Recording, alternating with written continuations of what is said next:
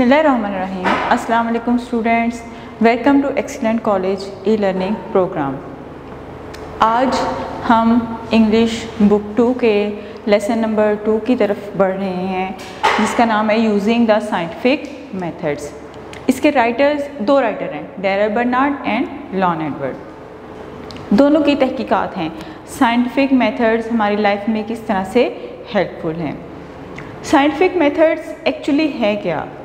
Scientific methods are the investigation into matters तहकीकात हैं तजुर्बात हैं जिनकी मदद से हम अपनी लाइफ को आसान करते हैं और हम आगे की जानब मूव करते चले जाते हैं। इंसानी खसलत है कि वो जो है वो एक जगह पर मुंजमद होकर नहीं रह सकती।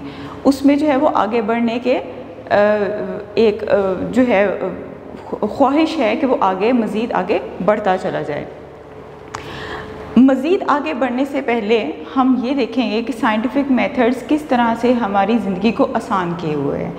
साइंटिफिक मेथड्स के बहुत सारे फ्रूट्स हैं, जैसे कि मेंटेनेंस ऑफ़ हेल्थ हमारी सेहत को मेंटेन किया है साइंस ने, क्योंकि इससे पहले, आज से बहुत साल पहले 200-300 साल पहले अगर हम देखें तो उस वक्त हेल्थ की कंडीशन बहुत बुरी थी।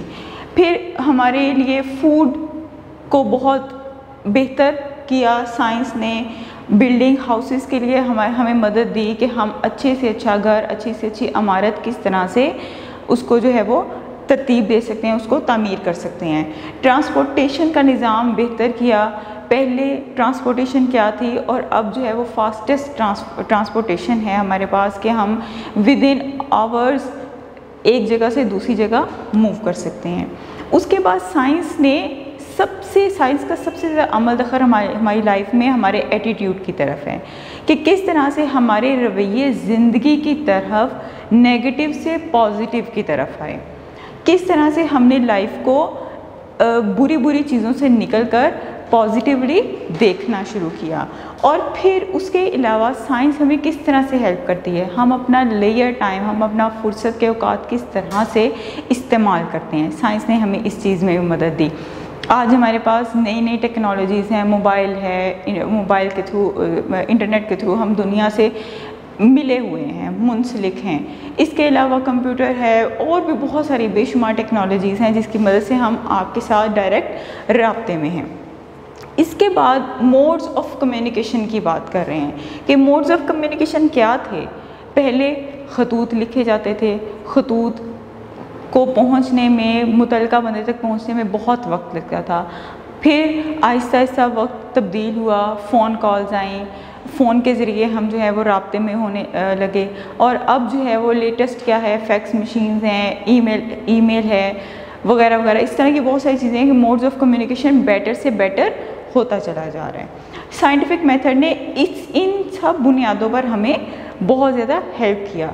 फ़ूड को हम किस तरह से प्रोड्यूस करते हैं, किस तरह से प्रिजर्व करते हैं? खुराक, पुराने ज़मानों में क्या था? प्रोड्यूस कैसे किया जाता था खुराक को और फिर उसको प्रिजर्व करने के मेथड्स नहीं थे हमारे पास। उसे बचा कर रखने के, कि आइंदा मुश्किल वक्तों में उस खुराक को किस तरह से इस्तेमाल किया जाए, हमें इनके बारे में नहीं पता था। साइंस ने हमारी इस सिलसिले में बहुत ज़्यादा मदद की है। इन सारी चीज़ों को हम लोग देखेंगे आज के इस लेसन में। उससे पहले हमारे पास सवाल है impact of science in our life अगर ये सवाल हो कि किस तरह से साइंस हमारी ज़िंदगी पर असरानंदाज किए हुए है तो साइंस हमारी ज़िंदगी पर इस तरह से असरानंदाज किए हुए कि हमारी हर मोड ऑफ़ लाइफ को साइंस ने अपने असर में लिया हुआ है। दूसरी बात करता है राइटर बात करते हैं बेटर कंट्रोल ऑफ़ डिज़ीज़ बेहतर कंट्रोल कर लिया है हमने डिज़ीज़ को, बीमारी को। क्या था? 200 वो एक कम्बिनेशन पेश कर रहा है। 200 साल पहले का कम्बिनेशन आज के दौर के साथ। 200 साल पहले क्या था? बीमारियाँ थीं। लोग उन बीमारियों से मर जाते थे। हमारे पास वैक्सीनेशन नहीं थी। हमारे पास कोई ऐसा ज़रिया नहीं था जिनकी वजह से हम बीमारियों को कंट्रोल कर सकते। तो उन बीमारियों की वजह से डेथ रेट क्या था? कि सात में से आठ में से सात बच्चे ऐसे होते थे जो मर जाते थे, पैदा होते मर जाते थे। यानी सिर्फ़ एक बच्चा ऐसा होता था जिसको लकी तस्वर किया जाता था उस दौर में जब ये बेशुमार बीमारियाँ measles cough smallpox cholera fever diphtheria typhoid influenza ये सारी बीमारियाँ अपने अरूज पर थी। इनके लिए कोई वैक्सीनेशन नहीं थी, कोई ऐसी मेडिसिन नहीं थी कि इनका फौरी तौर पर इलाज किया जा सके। फिर क्या होता था? कुछ बच्चे, जो एक बच्चा होता था, अगर वो छः साल की उम्र तक पहुँच जाता था उसे स्मॉल पॉक्स और स्कारलेट फीवर की बीमारी हो जाती थी। वो उसकी वजह से मर जाता था। अगर कोई बच्चा ऐसा लकीली इन, इस स्टेज से भी निकल कर बारह साल की उम्र तक पहुँचता तो उस पर मीज़ल्स और कफ़ का अटैक हो जाता। अब 12 साल की उम्र में जब मीज़ल्स और कफ़ का अटैक होना है तो अगर कोई बच्चा उसको सरवाइव कर गया तो ठीक है। अगर नहीं कर सका तो उसकी डेथ हो गई। और जो निकल गया, उनको क्या कहा जाता था? उनको लकीस्ट पर्सनस कहा जाता था। Whoever crosses the stage was lucky one वो लकी वन होते थे कि वो इन तमाम बीमारियों से निकल कर एक हेल्दी लाइफ की तरफ़ आ गए हैं। लेकिन फिर भी एवरेज उम्र क्या थी? उस वक्त एवरेज एज हमारे पास थी according to writer thirty years फिर भी तीस साल तक जो थे 200 साल पहले की बात कर रही हूँ, तीस साल पहले एवरेज एज क्या थी क्या थी? दो सौ साल पहले तीस साल थी। तीस साल का बच्चा जो है वो उसके बाद उसकी, उसके अंदर की कैपेसिटी ख़त्म हो जाती थी। आज के दौर में राइटर हमें बता रहा है, आज के दौर में हमारे पास हर तरह की सहूलत मौजूद है। बच्चा पैदा होता है, उसे फौरी तौर पर वैक्सीनेशन दी जाती है। मेडिकल एड प्रोवाइड की जाती है। फिर सबसे बड़ी बात है, बच्चे हॉस्पिटल्स में पैदा हो रहे हैं। तो हॉस्पिटल्स में एक हेल्दी इन्वायरमेंट उनको फौरी तौर पर दे दिया जाता है। तो उसके नतीजे में क्या हुआ कि एवरेज एज क्या बन गई अब? 70 ईयर्स यानी आज औसतन उम्र एक इंसान की 70 साल है। वो 70 साल की ज़िंदगी को इन्जॉय करता है। यानी साइंस ने कितनी जो है वो इजाफ़ा किया उम्र में 40 साल का इजाफ़ा किया साइंस ने एवरेज उम्र में 40 साल का इजाफ़ा किया है। तो बेट इस तरीके से हम लोगों ने इन डिज़ीज़ को कंट्रोल किया और आगे बढ़ने के काबिल हुए। बेटर कंट्रोल ऑफ़ डिज़ीज़ के बाद हम आगे सैनिटरी कंडीशंस की तरफ़ आते हैं। सैनिटरी कंडीशंस भी साइंस की वजह से बहुत हद तक, बल्कि बहुत ज़्यादा बेहतर हुई। प्रीवियसली राइटर बात कर रहा है, सौ साल पहले की। सौ साल पहले क्या था? ये राइटर उससे पहले मैं आपको बता दूँ कि राइटर जो है, वो सिर्फ़ लंदन के बारे में बात कर रहा है। क्योंकि उसी टाइम पीरियड में करदोवा यानी करतबा में मुसलमानों ने बहुत ज़्यादा तरक्की कर ली हुई थी। हर चीज़ बहुत बेहतर थी, वहाँ पर मस्जिदें थीं, वहाँ पर बिजली थी स्ट्रीट्स जो थी, वो रोशन थी, गलियाँ रोशन थी, हर चीज़ बहुत बेहतरीन थी। लंदन की बात कर रहा है राइटर के उस दौर में सौ साल पहले क्या हालात थे? वहाँ पर ड्रेनेज सिस्टम बहुत बुरा था। कि अगर पानी खड़ा है तो खड़ा है, वो वैसे ही सूखेगा अदरवाइज़ ड्रेनिंग सिस्टम नहीं है। गार्बेज थ्रॉन इन स्ट्रीट्स जितना भी कूड़ा क्रिकेट था, जो घरों से इकट्ठा किया जाता था, वो गलियों में फेंक दिया जाता था, जैसा कि अब नहीं है। अब जो है वो प्रॉपर जगह बना दी गई हैं, जहाँ पर कूड़ा क्रिकेट जो है वो जमा किया जाता है, बल्कि बहुत सारे ममालिक जो हैं, वो उनको यूटिलाइज़ भी कर रहे हैं। इसके अलावा आउटडोर टॉयलेट्स कॉमन थे, कि घरों में टॉयलेट्स का रिवाज नहीं था। बाहर जो कुछ भी था, वो बाहर आउटडोर किया जाता था। आज के दौर में लंदन की बात कर रहा है कि streets are open and wide, खुली हैं, ट्रैफ़िक का बहाव भी बहुत ज़्यादा है।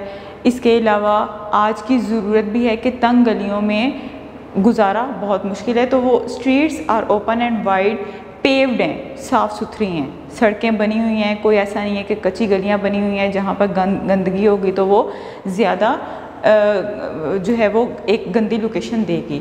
वेल ड्रेन है। अब एक प्रॉपर तरीके के साथ प्रॉपर सैनिटेशन डिपार्टमेंट जो है वो वजूद में आया। सैनिटेशन डिपार्टमेंट में हर डिपार्टमेंट ने हर चीज़ को कंट्रोल किया ड्रेनेज सिस्टम जो है वो मुतारफ़ करवाया। फिर अब जो है वो आउटडोर टॉयलेट्स की बजाय इनडोर टॉयलेट्स का रिवाज आ चुका है। कि अब वो चीज़ जो है वो ख़त्म हो चुकी है। लोग जो है वो उनको ज़्यादा सिविलाइज्ड कर दिया गया है। तो मुस्लिम वर्ल्ड जो है वो मुस्लिम बहुत पहले, उससे इससे इन सौ सालों से भी बहुत पहले मुस्लिम मुस्लिम दुनिया जो थी, वो बहुत सारी तब्दीलियाँ लेकर आ चुकी थी। तो लंदन के लोगों ने वेस्टर्नर्स ने क्या किया था? उन्होंने मुसलमानों को देखने के बाद अपने अंदर ये सारी की सारी तब्दीलियाँ लेकर आए थे कि इस्लाम में तो है सफ़ाई ईमान है तो मुसलमानों ने इस पर बहुत पहले से अमल करना शुरू किया, जबकि मगरबी दुनिया में उसके बहुत बाद उन्होंने जो है वो इस चीज़ की तरफ़ अपना कदम बढ़ाया, लेकिन आज वो हमसे बहुत आगे निकल गए। अब राइटर जो हैं वो combination and comparison of sanitary condition in past and present ये सारी बातें कर रहे हैं। हमारे पास ये क्वेश्चन है टेक्स्ट बुक में कि उसका कम्बिनेशन करें कि पास्ट में कैसी, कैसा था सैनिटरी कंडीशन और प्रेजेंट में सैनिटरी कंडीशन कैसी है। इसके अलावा जो है वो क्वेश्चन ये भी पूछा जा रहा है कि सो आज के दौर में कंडीशन ऑफ़ विलेजेस टुडे आज के दौर में हमारे जो गाँव हैं उनकी सैनिटरी कंडीशन कैसी है? तो आप इसका आंसर बड़ी आसानी से दे सकते हैं। ये जो सौ साल पहले लंदन की कंडीशन थी, कि गलियाँ तंग थीं अनपेव थी ड्रेनेज सिस्टम पुअरली ड्रेन थी गार्बेज थ्रोन इन स्ट्रीट्स तो ये सारा कुछ जो है वो आप विलेजेस के लिए उसको प्लेस कर सकते हैं। यानी विलेजेस की हमारी आज की कंडीशन ये है। उसके बाद राइटर फ़ूड की तरफ़ बढ़ते हैं। Food the most important factor of our life के उसके बगैर तो ज़िंदगी वैसे, का वजूद तो वैसे ही नहीं है। खुराक को किस तरह से प्रिजर्व किया गया? खुराक को उससे, लेकिन उससे पहले प्रोडक्शन उसकी क्या थी? पहले प्रोडक्शन के वेज बड़े सिंपल से थे। खेतों में फ़सलें उगा ली और उनको जो है वो मतलब सीजन्स के अकॉर्डिंग सर्दियों का सीज़न है तो जो सर्दियों में सब्ज़ियाँ और फल बनेंगे, उगेंगे, वही बन उगाए जाएँगे, उन्हीं के बीज बोए जाएँगे अदरवाइज़ ऐसा कुछ नहीं होगा. लेकिन आज के दौर में साइंस ने इतनी तरक्की कर ली कि आप सर्दियों के मौसम में गर्मियों में आने वाली सब्ज़ियाँ भी इंजॉय कर सकते हैं. इवन गर्मियों में सर्दियों की जो है वो सब्ज़ियाँ और इस तरह की बहुत सारी चीज़ें जो है वो उनको इस्तेमाल यानी आप throughout throughout the year आप हर चीज़ को जो है वो इंजॉय कर सकते हैं। हर चीज़ आपके डोर स्टेप पर अवेलेबल है। तो वेज ऑफ़ प्रोडक्शन बहुत हद तक साइंस ने तब्दील कर दिए जो है वो सूरज की मदद से कि उसको जो है वो आप जो करते हैं उसमें glass in within the glass जो है वो प्रोडक्शन उसकी क्रॉप्स की करते हैं, वो सारा कुछ। फिर प्रिजर्वेशन क्या थी? प्रिजर्वेशन ये थी कि पुराने दौर में राइटर ये बात करते हैं कि थ्रिफ्टी हाउस वाइफ जो चलाक होशियार किस्म की घरेलू औरतें थी ख़वातीन थी, वो क्या करती थी कि सॉल्टिंग कर लेती थी कैनिंग कर लेती थी, यानी चीज़ों को नमक लगा कर रख देना। नमक लगाने से ये होता था कि वो प्रिजर्वेशन उनकी लॉन्गर टर्म में हो जाती थी। इसके अलावा कैनिंग फ़ूड को कैंड कर लेना स्टोर कर लेना। कैन में करने से ये होता है कि उसके अंदर थोड़ा सा सिरप डाल दें उसका फ़ूड का ही तो उसमें जो है वो वो, ज़्यादा टाइम पीरियड के लिए वो सेव हो जाती हैं। फिर इसके अलावा पिकलिंग आम का अचार, आम का अचार हो गया या उसका जो है गाजरों का या, जो भी मिक्स अचार हम लोग आज भी खाते हैं, बहुत सारी चीज़ें सेव हो जाती हैं कि सर्दियों में ये सब कुछ काम किया, ये गर्मियों में भी सारा काम किया और आप पूरा साल उसको खा सकते हैं इंजॉय कर सकते हैं। फिर ड्राइंग एंड फ्रीजिंग मेथड कि चीज़ों को खुश कर लेना, उसमें से पानी खुश कर देना। पानी ही बैक्टीरिया पानी की मौजूदगी बैक्टीरिया पैदा करती है, उसके अंदर फंगस का बाइस बनती है। तो पानी निकाल देना, उसको ड्राई कर देना और उसको जो है वो आगे मज़ीद कुछ वक्त के लिए इस्तेमाल करने के काबिल बना लेना। अब क्या है, आज के दौर में हमें प्रिजर्व करने की ज़रूरत नहीं पड़ती। क्यों? क्योंकि हर चीज़ फ्रेशली अवेलेबल है। हमने अभी बात की थी प्रोडक्शन वेज ऑफ़ प्रोडक्शन के साइंस ने इतनी तरक्की कर ली कि हम पूरा साल हर चीज़ को इंजॉय कर सकते हैं। तो हम, हमें हर चीज़ फ्रेशली अवेलेबल है। न्यूट्रिशियस फ़ूड जिसमें मीट वेजिटेबल फ्रूट सब कुछ शामिल है। हमें हर वक्त, हर जगह पर अवेलेबल है। तो साइंस की ये सबसे बड़ी अचीवमेंट है। क्वेश्चन ये है कि how has scientific method help us to produce and preserve food किस तरह से साइंस ने हमें मदद की कि हम खुराक को प्रोड्यूस करें और प्रिजर्व करें? तो इसका आंसर आप इसका ये लिख सकते हैं कि उसने जो है वो वेज ऑफ़ प्रोडक्शन को चेंज किया नए से नया जो है वो तरीका बताया और उसके बाद हम लोगों ने प्रिजर्वेशन मेथड भी चेंज कर लिया। अब हम मज़ीद आगे बढ़ते हैं एटीट्यूड की तरफ़ आते हैं। साइंस ने हमारे रवैये ज़िंदगी की तरफ़ किस तरह से तब्दील किए? ज़िंदगी की तरफ़ और यूज़ ऑफ़ लेयर टाइम क्या अब हम अपना मसरूफ़ वक्त किस तरह से गुजारते हैं? थोड़ी देर पहले भी बात हुई थी कि मसरूफ़ वक्त हम अब जो है वो बड़े पॉजिटिवली गुजार सकते हैं। हम बहुत कुछ जो है वो तहकीकात करके नई नई चीज़ें जान कर जो है वो हम अपना फारी वक्त गुजार सकते हैं। ज़िंदगी की तरफ़ हमारा एटीट्यूड किस तरह से चेंज किया कि पहले हम बहुत ज़्यादा सुपरस्टिशियस थे तस्बात में घिरे हुए थे। तसुब क्या होता है कि किसी भी चीज़ को नेगेटिव ले लेना कि काली बिल्ली आगे से गुजर गई है, अब हम सफ़र नहीं करेंगे। अब घर से निकलने से पहले शीशा टूट गया है, आज बाहर नहीं जाना, नहीं तो कुछ बुरा हो जाएगा। तेरह तारीख को या तेरह का डिजिट जब सामने आ जाए डेट या टाइम में तो उस वक्त काम नहीं करना, क्योंकि तेरह का नंबर जो है वो मनहूस है। इस तरह के खौफ थे हमारे एनसेस्टर्स में, हमारे आबा अजदाद में। लेकिन साइंस ने उन सबको निगेट किया। साइंस ने कैसे निगेट किया? साइंस ने कहा कि ये सारे बेसलेस हैं। इनके अंदर कोई भी हकीकत नहीं है। कुछ भी हकीकत नहीं है। Ideas are supported by facts always हमेशा से जो भी तस्वुरात होते हैं, वो फैक्ट्स मांगते हैं। कि दलाइल क्या है उनके पीछे? अगर तो दलाइल काबिल कबूल हैं तो अप्रूव्ड होते हैं, और अगर दलाइल काबिल कबूल ना हो तो उन्हें रिजेक्ट कर दिया जाता है। तो ब्रोकन मिरर ब्लैक कैट्स और नंबर थर्टीन की जब राइटर बात कर रहा है तो राइटर कह रहा है कि साइंस ने उसको निगेट कर दिया कि इन चीज़ों का किसी किस्म का वजूद नहीं है। ये सिर्फ़ इंसानी दिमाग का अमल दखल है इसके अंदर। फिर पुराने वक्तों में सुपरस्टिशियस पीपल क्या करते थे? लोग क्या करते थे? तावीज़ पहनते थे चाम्स देवियर चाम्स देवर चाम्स तावीज़ पहनते थे। क्यों पहनते थे? कि कोई बला उनके सर पर ना आप टपके, या किसी भी किस्म का कोई हादसा या इवल स्पीड से बचने के लिए वो जो है वो उन तावीज़ों को पहनते थे। आज के दौर में भी हम बहुत सारे लोगों को ऐसा करते हुए देखते हैं कि वो सिर्फ़ तावीज़ इसलिए पहनते हैं कि कोई किसी किस्म की बुरी नज़र ना उन पर पड़ जाए या घर से निकलते हुए जो है वो अक्सर लोग जो हैं वो इसलिए तावीज़ पहन लेते हैं कि किसी किस्म का हादसा ना पेश आ जाए। लेकिन साइंस जो है वो इन सबको निगेट करती है। साइंस इस सब, इन सब चीज़ों को बेसलेस कहती है। There are no sound reasons for superstitious believe science का कहना यह है कि तस्बात पर यकीन करने का कोई मकसद ही नहीं है। तो इसमें टेक्स्ट बुक में हमारे पास क्वेश्चन ये आता है कि how science help does to get over old fears किस तरह से साइंस ने हमें हेल्प हेल्प आउट किया?